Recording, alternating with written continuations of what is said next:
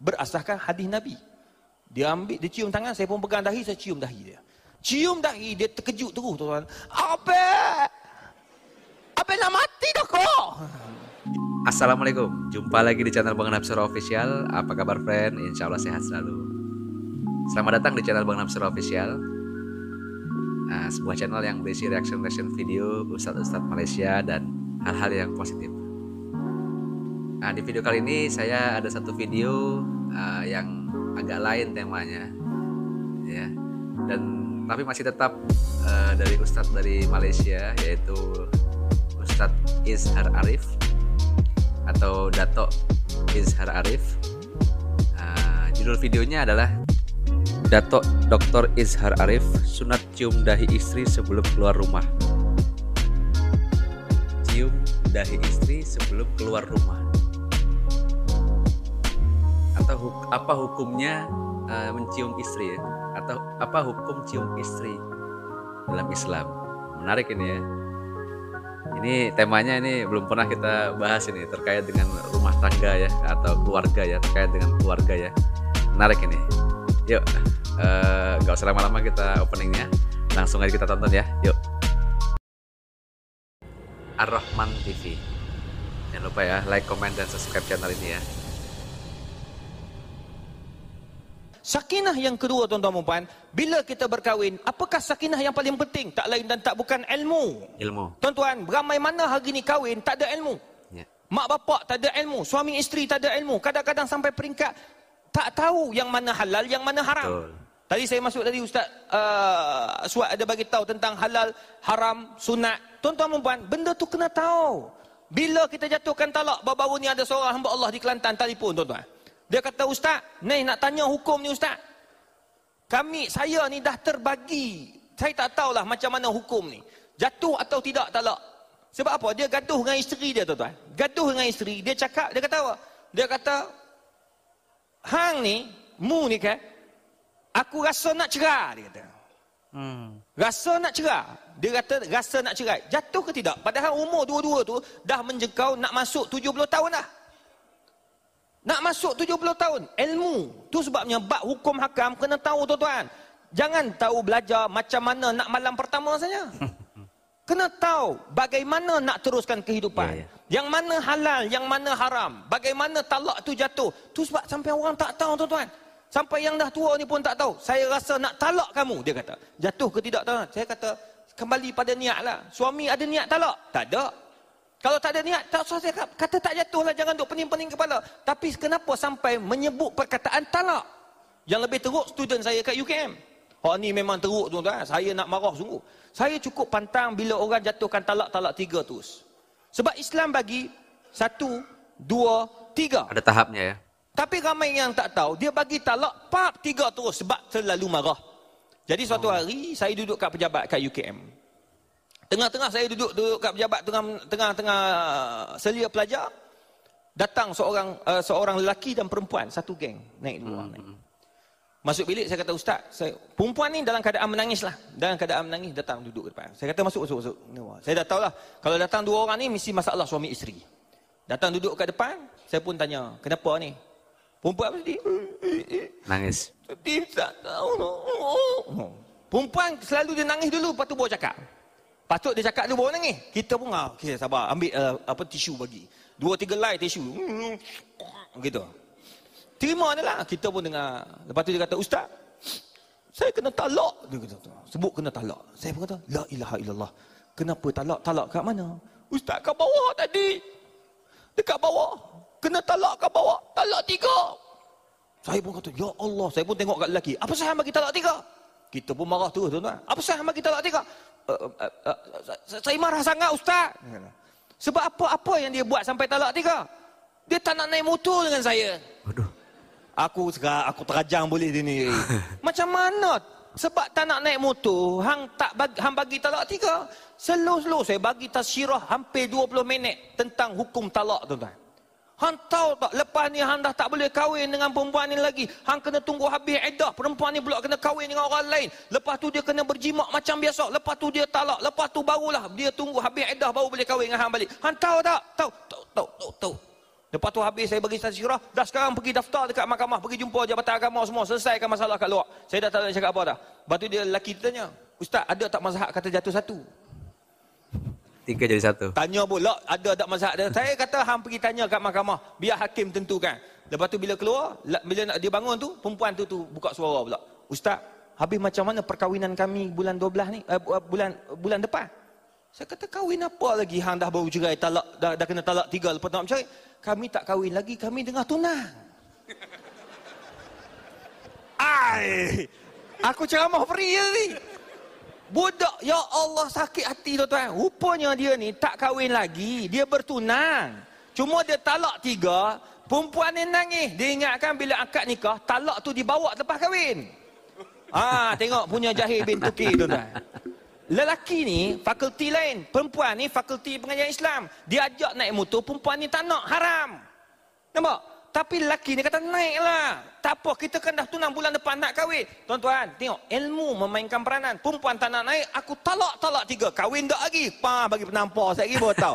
Ini kadang-kadang ilmu. Itu yeah, sebab yeah. saya sangat sedih bila kita ni belajar tak ada ilmu. Kita kahwin tak ada ilmu. Ramai yang tak tahu apakah yang boleh, apa yang tak boleh muslimin muslimat yang dikasih sekalian ilmu mainkan peranan saya tuan-tuan banyak belajar tu terang saya dalam keadaan sekarang tu saya banyak belajar saya tak sombong saya tak malu saya tak malu nak bertanya tuan-tuan kita banyak belajar daripada hadis Nabi sallallahu alaihi wasallam. Allahumma salli Nabi ini sangat romantis. Saya belajar daripada Datuk Fadilah Kamsah Dr. Fadilah Kamsah. Oh. suatu hari kami forum perdana TV1 di Sarawak. Live TV1 di Sarawak. Jadi kami dalam flight tu kami duduk kami balik pagi di awal pagi sebab saya ada program dekat Kuala Lumpur Datuk Fadlah Kamsah pun ada program di Kuala Lumpur. Jadi kami duduk satu satu flight duduk kat depan sekali business class masa tu sampaikan uh, makan tak sempat nak makan nasi lemak yang diorang sediakan. Nasi lemak. Jadi duduk sembang-sembang Datuk Fadlah Kamsah tanya saya. Saya tanya dia masa, masa tu saya baru mula masuk TV tahun 2008 tengah-tengah 2008 begitulah masa tu forum perdana apa semua tu baru masuk. Saya tanya Datuk macam mana Datuk meng, apa ni buat? Orang kata apa uh, orang kata apa? Jaga fitnah sebagai seorang suami. Ialah bila kita dah terkenal tuan-tuan, macam-macam orang mengaku. Orang mengaku isteri. Tengok betul? Saya orang mengaku isteri dalam Facebook, dia tulis isteri kepada Dr. Muhammad Izhar Arif. Official lagi tulis tu. Ha? Official. Pengikut dia lebih dari follower 12,000 orang. Geli saya tuan-tuan. PA saya hantar WhatsApp dia kata ustaz, bila ustaz kahwin? Kenapa tak bagi tahu saya? Saya kata, eh, bila aku kahwin? Aku tak ada kahwin. Bayangkan tuan-tuan, bila PA cakap, kita kahwin, menggigit tuan-tuan. Menggigit. Ah, eh, ustaz tak kahwin, ustaz tak kahwin. Padahal bini tak tahu lagi tu. Tuan-tuan, punya takut pada isteri tuan-tuan. Ha. Dalam bak ni, saya cukup takut bini tuan-tuan. Dia tanya kita tuan-tuan, ha? Sama. Ha tu kami boleh kawan sebab dua-dua takut bini tuan-tuan. Oh, jangan main. Bak ni cukup takut. Menggigil saya tuan. Sampai saya WhatsApp bini saya ambil gambar. Buka apa nama Facebook budak perempuan tu ambil gambar hantar kat bini saya. Kata ni ada orang mengadu, orang mengaku bini ni. Orang isteri saya kata, "Ah, tahu dah. Saya nak tengok awak bagi tahu ke tidak mujur tuan-tuan." Nak terkencin masa tu tuan-tuan. Mengaku sampai report polis. Dia kata dalam tujuh hari dia akan delete. Bayangkan dalam tu dia kata, "Ustaz balik malam ini dengan penuh gairah dan mencium dahiku." Oh mana aku pernah buat macam tu? Dia pelik-pelik tuan-tuan ni mengaku. Saya jadi saya tanya Datuk Fadil Kamsah sebab dia dah lama dalam arena media tuan-tuan.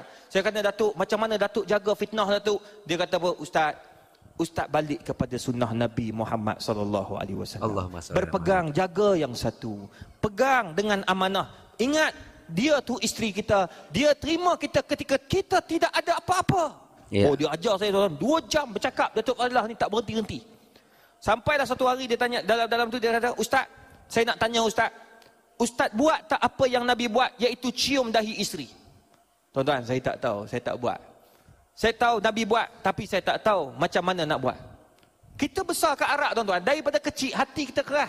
Besar-besar ni duduk kat asra, dekat asrama dua negara. Sakit duduk hospital dekat hospital Dimashqi tu, dekat Dimash, seorang-seorang tuan-tuan, satu bulan duduk hospital kena penyakit kuning. Tak ada orang datang tengok yang datang kawan-kawan. Bawa datang madu apa semua. Tuan-tuan, hati kita kerah. Kerah sangat. Payah nak nak tunjukkan kasih sayang. Yeah. Kawin. Kita kawin tetap kawin. Tapi anak tetap ada dua. Tapi tuan-tuan, kita tak ada nak tunjuk kasih sayang tu tak banyak sangat. Apa yang berlaku tuan-tuan? Hmm. Dia kata Nabi SAW kalau nak keluar daripada rumah Nabi akan cium dahi Aisyah radhiyallahu anha. Allah Ustaz buat tak? Saya macam terkedu. Saya tak buat Ustaz. Doktor, saya tak buat Datuk. Ustaz balik buat. Tuan-tuan, balik tu saya sampai, saya pergi pejabat macam biasa UKM, sampai pagi tu saya pergi UKM, esok saya buat. Esok tuan-tuan puan sebab Nabi SAW nak keluar daripada rumah, nak keluar, nak pergi khutbah, Nabi akan cium dahi Aisyah radhiyallahu anha dan isteri-isteri yang lain. Kita Allah tak buat. Akbar. Itu sebab ilmu. Ilmu tu kita kena ambil. Kita tahu ilmu dan kita kena amal. Apa yang berlaku? Saya balik, saya balik, saya cuba buat. Pagi-pagi tuan-tuan, isteri saya ni dia baik. Pagi-pagi dia akan hantar saya walaupun dia sibuk sangat, dia akan hantar sebab itu dia akan salam saya dia akan keluar. Saya keluar. Bila saya salam, dia salam saya, dia cium tangan, saya tak ada nak tunjuk balas balik. Sebelum-sebelum ni kita cium tangan, kita pun pergi. Tak ada, okay bye-bye, I love you, gitu lah. Tuan-tuan, hari itu saya cuba buat apa yang Datuk Fadil Kamsah cakap. Berasaskan hadis Nabi. Dia ambil, dia cium tangan, saya pun pegang dahi, saya cium dahi dia. Cium dahi, dia terkejut terus tuan-tuan. Apa? Apa nak mati dah kau? Dia orang Kelantan tuan, nak mati dah ke aku ni tuan-tuan? Bayangkan 2008, 2009, saya kahwin 2000, 2003, tuan-tuan, berapa tahun tuan-tuan? Tak pernah buat, tiba-tiba buat. Mau bini aku tak kata tak nak mati dah. Tuan-tuan, saya kata tak, saya bawa belajar daripada Datuk Fadil Kamsah. Dia kata suruh ikut sunnah Nabi SAW. Tuan-tuan, belajarlah tuan-tuan. Belajar macam mana nak menjadi seorang lelaki yang caring. Lelaki yang loving. Lelaki yang menyintai orang perempuan. Tuan-tuan, inilah ilmu. Jangan malu untuk jadi suami yang baik. Kadang-kadang kita selalu kata isteri yang gemuk. Awak ni badan besar. Tengok ada surat khabar kan. Cerai isteri sebab isteri dah gemuk. Come on lah bang. Awak cerai dia sebab gemuk. Come on. Kalau isteri boleh cerai, dah lama dia cerai kamu. Perut ke depan, tak pernah ke belakang. Depan selalu kini dan selamanya tuan-tuan. Ha?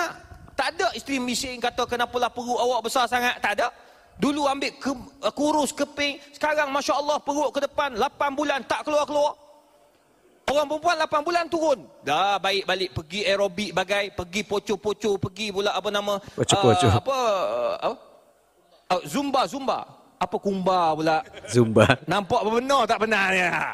Zumba. Zumba gini ha, gitu. Nak cerita bagi nak kurus punya pasal sebab suami suruh kurus. Betul tak kak? Oh makcik. Ha, angkat tangan makcik tu. Yang lain takut nampak gaya. Tuan-tuan, betul. Nabi SAW jaga benda ni. Itu sebab Nabi, dia jaga tubuh badan. Tengok Nabi, tubuh Nabi tegap. Walaupun Nabi dah di, di penghujung hayat, badan Nabi tak pernah berubah. Dada Nabi dengan perut Nabi, Masya Allah, cantik. Nampak segan tegapnya. Bagaimana Nabi dengan para isteri? Baru itu sebab Aisyah radhiyallahu anha, Hafsah, Ummu Salamah begitu sayang kepada Nabi. Sebab apa? Akhlak Nabi, tubuh badan Nabi sangat menunjukkan Nabi itu jaga kepada dirinya untuk para isteri. Oleh sebab itu tuan-tuan dan puan yang sekalian, sakinah itu bukan saja kita lihat kepada kecantikan, tetapi lihatlah kepada bagaimana kamu nak tunjukkan perkara ini di hadapan Allah Subhanahu wa taala. Jadi yang pertama tadi macam saya sebutkan tadi, pertama nak dapat sakinah pastikan keberkatan sentiasa ada dalam rumah tangga kita. Yang kedua, pastikan dengan ilmu dan yang terakhir tuan-tuan dan puan yang dikasihi sekalian, pastikan nak dapat sakinah itu kita dapat amalkan segala apa yang diajar oleh Nabi kita Muhammad sallallahu alaihi wasallam berhubung tentang kehidupan, berhubung tentang kisah suami isteri antara Nabi dan Rasul dan dan para isteri Nabi Muhammad sallallahu alaihi wasallam. Wallahu alam bisawab. Allahu akbar.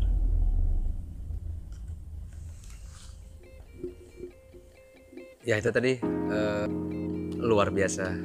Masya Allah ini temanya bagus ini uh, tentang keluarga sakinah ya. Dan saya baru tahu juga Nabi selalu mencium istrinya sebelum keluar rumah.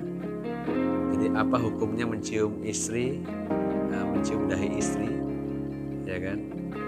Ternyata itu sunnah yang dilaksanakan oleh Nabi. Dan tadi juga ada sedikit uh, Ustadz Ishar Arif menyampaikan tentang keluarga sakinah. Bagaimana cara membentuk keluarga sakinah ya luar biasa, masya Allah. Wah, saya tertarik. Nah, saya banyak, uh, saya dapat ilmu banyak hari ini Uh, terima kasih telah menonton. Ya kan? Insya Allah dapat diambil uh, manfaat dan ilmunya uh, video kali ini. Jangan lupa kalau suka video ini jangan lupa like, comment, dan subscribe channel Bang Official.